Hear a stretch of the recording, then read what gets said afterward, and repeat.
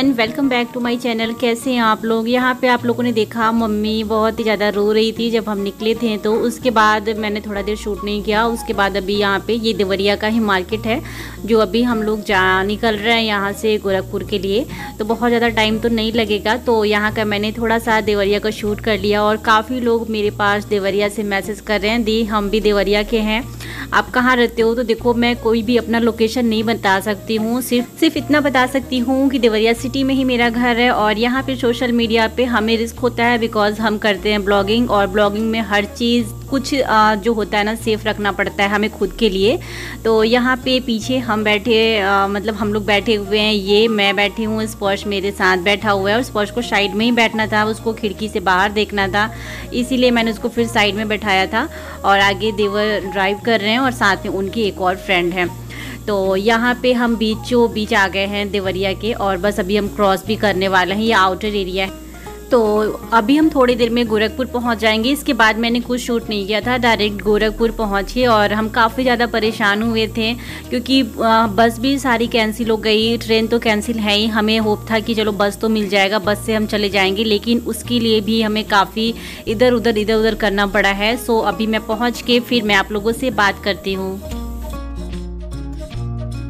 शाम के बज गए हैं पाँच। हम लोग गोरखपुर में आके फंसे हुए हैं। गोरखपुर में जहाँ हमारी बस थी, वहाँ पे हम आए, एकदम राइट टाइम पे आए थे। भागते भागते भागते मतलब इतनी स्पीड में हम आए कि हमारी बस मिल जाए, लेकिन बस नहीं मिली। उसके बाद हम फिर दूसरी जगह स्टैंड पे आए हैं। फिर दूसरे भारत पेट्रोलियम शायद यहाँ पे यहाँ आए हैं गोरखपुर में। लेकिन बस हमारी है नहीं। मैंने भी कॉल किया था, वो बोलते कि रात के आठ बजे आएगी। कंफर्म नहीं है, क्योंकि चंडीगढ़ साइड की जितनी भी ट्रेनें ना कैंसिल हो गई है। हो सकता है कि कुछ लोग बोल रहे हैं कि बस भी कैंसिल हो गई है, पता नहीं। स्पॉश मेरे साथ बैठा हुआ है और ये और मेरे जो देवर है और एक उनके फ्रेंड है, वो लोग सामने पूछताछ कर रहे हैं कि कहीं से कुछ मिल जाए तो हम लोग निकल जाए। पता नहीं क्या होगा।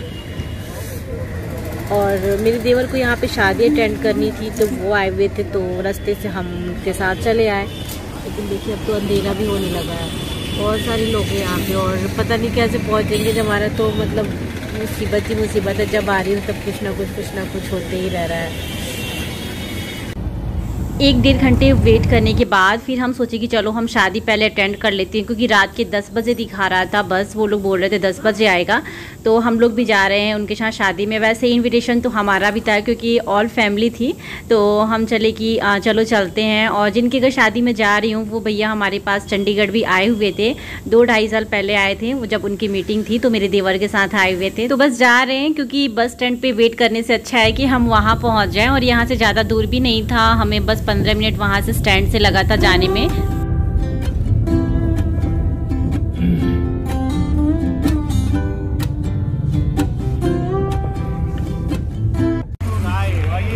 भाभी तो यहाँ पे सॉन्ग्स बज रहा था मैंने म्यूट कर दिया और सबको काफ़ी अच्छा लग रहा था यहाँ पे कि मैं आई थी और उम्मीद नहीं थी कि मैं कभी इनके घर आऊँगी लेकिन चलो मैं यहाँ चली आई और स्पर्श साथ जा रहा था उसके बाद हम अंदर को जाएँगे और आज इनके घर में ना तिलक वाला फ़ंक्शन है।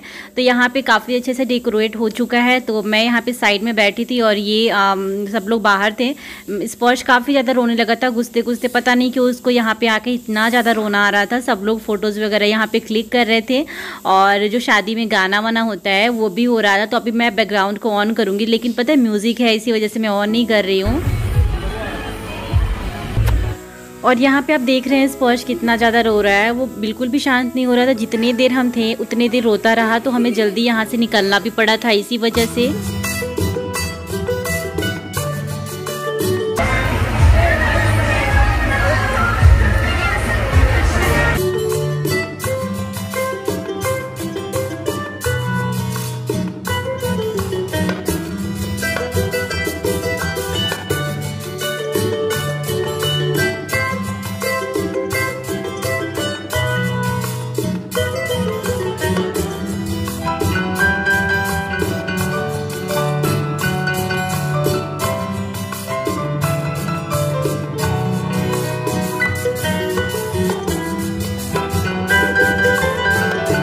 और यहाँ बैठे बैठे मैं स्वीट्स वगैरह खा रही थी। स्पर्श बिल्कुल भी नहीं खा रहा था, कुछ भी उसने नहीं खाया।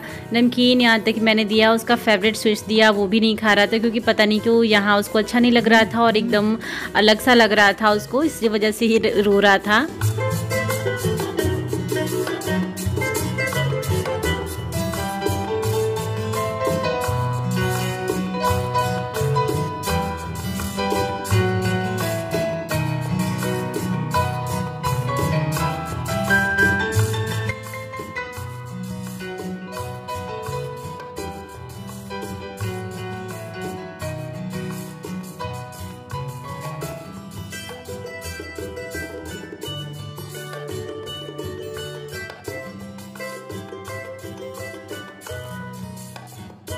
और यहाँ पे अभी चल रही थी तिलक का रस्म, अभी होने वाला था और काफ़ी ज़्यादा टाइम लगता तो फिर मैं सोची कि मैं यहाँ से निकलती हूँ क्योंकि बाबू बहुत ही ज़्यादा रो रहा था और मैं अकेले उसके साथ बैठी हुई थी। फिर मैं बाहर को आ गई थी, मैं सोची कि स्पर्श को कुछ खिलाऊँगी तो हो सकता है मान जाए। तो यहाँ पर मैं अभी लेने जा रही थी डोसा और डोसा के साथ मैंने चाट भी लिया था, चाट बहुत ही यमी लगा था और लेकिन स्पर्श को कुछ भी नहीं खाना था। मैं इधर उधर कर करके ना कुछ ना कुछ उसके लिए ले रही थी कि कुछ तो खा ले, लेकिन कुछ नहीं। गोलगप्पे मैं यहाँ पे खाई और हमने डिनर नहीं किया, क्योंकि पता है बस में जाना था और ये बोले कि अगर खाना है तो खा लो। भैया भी बोले कि मैं पैक करा के दे देता हूँ। लेकिन बस में हम कुछ भी नहीं खा पाते हैं। मुझे वैसे ही मेरी तबीयत ख़राब हो जाती है वोमिटिंग सा फील होता है। तो हमने यहाँ से कुछ भी पैक भी नहीं कराया और बस स्नैक्स वगैरह जो भी थे वो हमने खा लिया था। उसके बाद काफ़ी देर तक हम फिर बैठे रहे थे।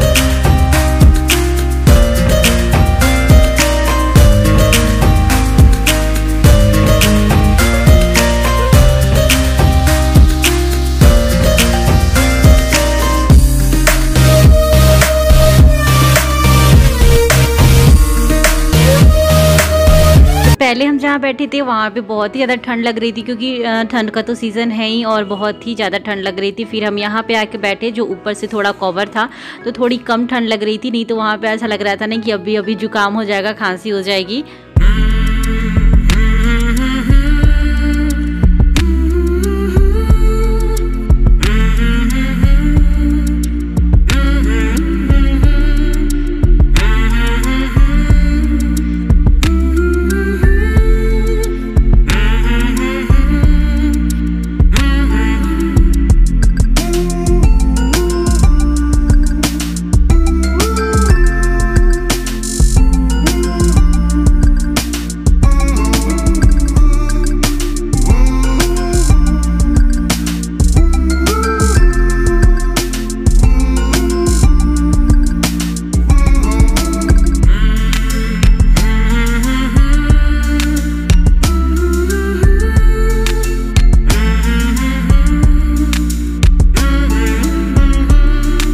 और यहाँ से अब हम निकल जाएँगे बिकॉज़ स्पर्श ना शांत नहीं हो रहा था, दो तीन मिनट ऐसे शांत हो रहा था, उसके बाद वो रोने लग रहा था, क्योंकि ये अनजान सी जगह थी और वो बिल्कुल भी यहाँ कंफर्ट फील नहीं कर रहा था, पता नहीं क्यों। वैसे हम सब तो थे, उसके चाचू भी थे, लेकिन वो कंफर्ट फील नहीं कर रहा था और हम यहाँ से निकल गए। और आज के दिन इतनी शादियाँ थी, इतनी शादियाँ थी, जब हम वहाँ से निकले, यहाँ पर आप एक ये शादी यहाँ देख रहे हो, फिर इसके बाद भी एक जगह शादी थी तो बस इस लाइन में ना बस शादी शादी, चार पाँच शादियाँ थी एंड इससे निकलने के बाद फिर आ, मेरे देवर ने कार खड़ी की थी। फिर हम वहाँ जाएँगे और फिर बस स्टैंड जाएँगे क्योंकि मैं बोली इनसे कि चलो बस स्टैंड ही वेट करेंगे क्योंकि स्पर्श को रुलाने से क्या फ़ायदा है? वो बेचारा बहुत ही ज़्यादा रो रहा था।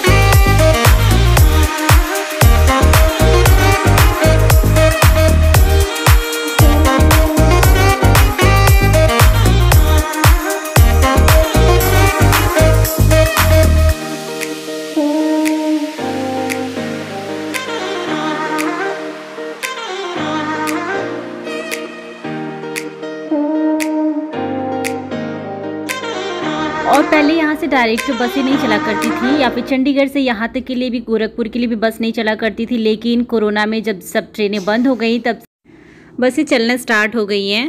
साढ़े नौ हो गए और अभी तक बस का वेट कर रहे हैं। यहाँ स्पॉश है। हाँ?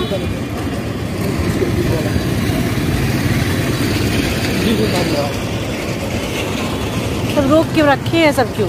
नहीं जा रहा है इसलिए रोक के रखे हैं सब यहाँ पे। ये बस इधर नहीं जा रहा है ना। और यहाँ से कोई भी बसें नहीं जा रही थी, जो हमारी बस थी, वो भी नहीं जा रही थी, क्योंकि वहाँ से ना बॉर्डर सील था पूरा यूपी का। सो हम लोग भी फंसे हुए थे। ऐसा लग रहा था हम पहुँच जाएँ तब है, लेकिन ये जो बस है ना, ये फाइनली जाने वाला है। हमारा जो बस था, वो वापस ही नहीं आया उधर से, वो उधर ही फंसा हुआ है बॉर्डर पर ही। तो फिर उन लोगों ने थोड़ा सा, जैसे होता है ना कि बात बात करके ये वाला बस, क्योंकि यहाँ पर काफ़ी ज़्यादा ट्रेवल करने वाले लोग थे, और यहाँ पर ये फ़ोटोज़ वगैरह ले रहे थे बस का, क्योंकि हमें, हम ये बस को बुक नहीं किए थे, हमारा दूसरा बस हमने बुकिंग किया था। इसी वजह से इसका नाम नंबर वगैरह सब कुछ लेना ज़रूरी होता है क्योंकि जो हमारी बुकिंग थी, कभी ऐसा होता है ना कि ये बस पता नहीं कहाँ लेके चले जाएँ, ऐसा कुछ होता है। तो सब कुछ थोड़ा सा सेफ्टी का ध्यान देना पड़ता है। यहाँ पर स्पर्श खुश हो गया कि फाइनली हम लोग अब जाने वाले हैं और बहुत ज़्यादा ठंड लग रही थी और ये, हम बस में है और ये सुबह का टाइम है, यहाँ पर आप देख सकते हो, मैं उठ चुकी हूँ और यहाँ पर बस रुकी हुई थी क्योंकि ये जो स्लीपर बसें होती है ना बीच बीच में रुकती हैं तो यहाँ पे जिसको वॉशरूम वगैरह जाना होता है वो या फिर चाय, कॉफ़ी कोई भी पी सकता है तो यहाँ पे मैं अंदर ही बैठी हुई थी। मैं जब से बस में चढ़ी, उस टाइम से मैं एकदम से सो गई बेहोश की तरह, क्योंकि इतना ज़्यादा मैं थकी हुई थी ना, शादी वाली नींद भी मेरी पूरी नहीं हुई थी अभी तक।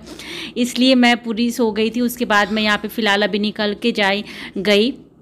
क्योंकि चिप्स वगैरह लेना था और यहाँ पे आप देख सकते हैं, बहुत सारी जितनी भी बसें होती हैं यहाँ पे रुकती है और ये आगरा के पास का कुछ जगह है। आगरा या फिर दिल्ली के पास दो ही ऐसी जगह होती है ना जहाँ पे बस हम रुकती है, स्लीपर बसें। वैसे स्लीपर बस में मुझे ट्रैवल करने में काफ़ी ज़्यादा प्रॉब्लम होती है, वोमिटिंग सा होता है, लेकिन एंटी एंटी वोमिटिंग मैंने खा लिया था। और यहाँ पर आप देख रहे हैं ना कितनी ज़्यादा बसें रुकी है, सबकी अपनी बस दस मिनट या पंद्रह मिनट के रोकते हैं, उसके बाद सारे बस यहाँ से निकल जाती है।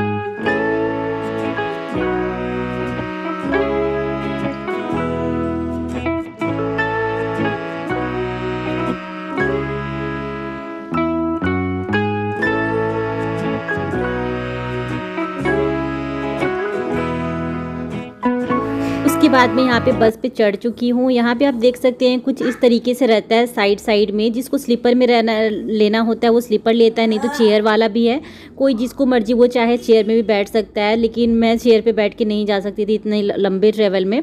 सो यहाँ पे बहुत ही अच्छे से केबिन टाइप का बनाया होता है। यहाँ पे स्पर्श बैठा हुआ है और ये चोको पाई वगैरह, चिप्स वगैरह ये लेके आया है। मैं अभी गई थी नीचे तो मैं भी लेके आई हूँ और स्पर्श को बस हम खिला रहे हैं। हैंड वॉश वगैरह, सैनिटाइज तो करना ही पड़ता है, लेकिन नहीं हो पाता है उतना ट्रैवल में। और भूख तो लगी गई थी और मैं इतना ज़्यादा थकी हुई थी कि अभी भी मुझे नींद आ रही थी, ज़बरदस्ती बोल रहे थे कि बैठे रहो बैठे रहो थोड़ा सा कुछ खा लो, उसके बाद फिर जो भी सोना होगा, सोना।